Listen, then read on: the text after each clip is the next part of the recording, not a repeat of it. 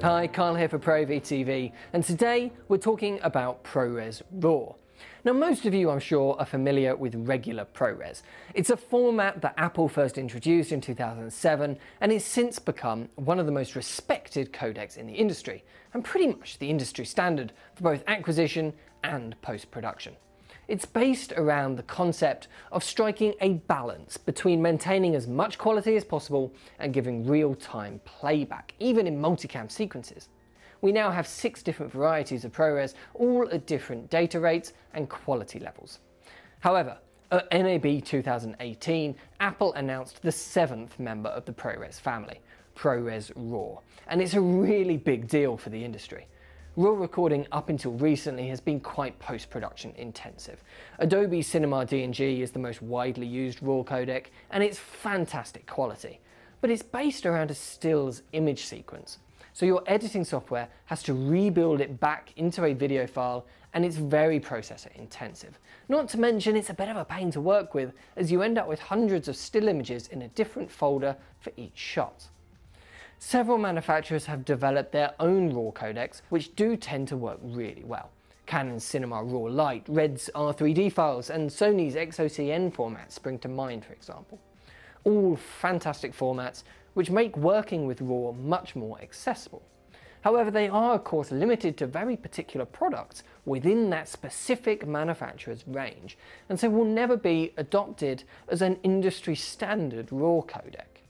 So this this is the main reason that ProRes RAW is so exciting. It has the potential to become an industry standard, just like regular ProRes did before it.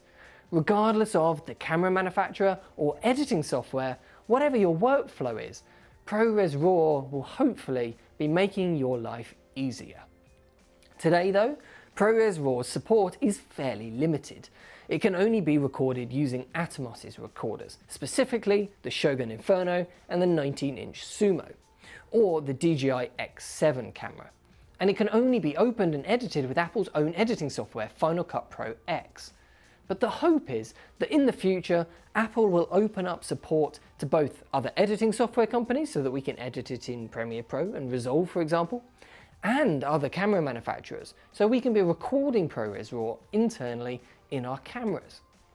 To record RAW using the Atomos Shogun Inferno or the Sumo, you of course need a camera that can output a RAW signal.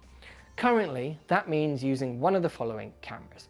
The C300 Mark II, C500 or C700 from Canon, the FS700, FS5 or FS7 from Sony, or the VariCam LT or EVA 1 from Panasonic. Connect one of those cameras to the Atomos recorder and you have 12-bit RAW files over the SDI connection. There's two options though when you're recording ProRes RAW. ProRes RAW LT and ProRes RAW HQ.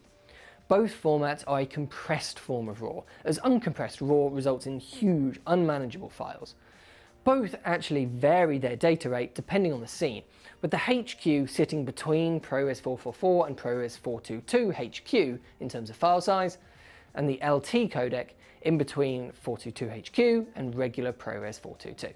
So if you're used to recording in ProRes 422HQ, for example, the file sizes with ProRes RAW will be much the same as you're currently used to.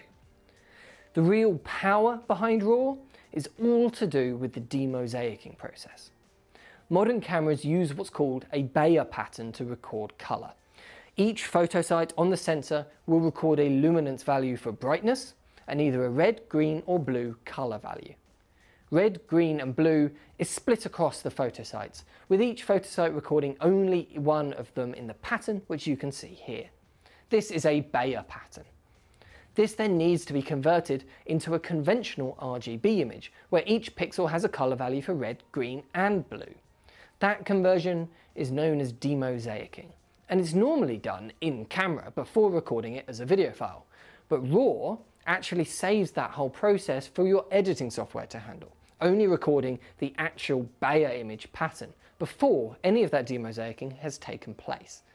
This of course is more intensive on your computer as it has to do more work before it can show you an image, but it means when you're color correcting, those changes you're making are applied before the conventional RGB image is formed rather than adjusting its values after the fact. Don't worry if that's a bit too much information. All it means, really, in the real world, is that you're gonna get better images from your color grade and more flexibility in editing software. So with ProRes RAW, you're getting all of that power in a single video file, which is no larger than normal ProRes is. And it will play back very nearly as smoothly. And it has the potential to be used with a huge variety of products. And that is a big, big deal. And that is why ProRes RAW is, for me, one of the most exciting technologies in the industry at the moment. So what do you guys think of ProRes RAW? Are you as excited as I am? Let me know in the comment section down below. Thanks for watching, and I'll see you in the next one.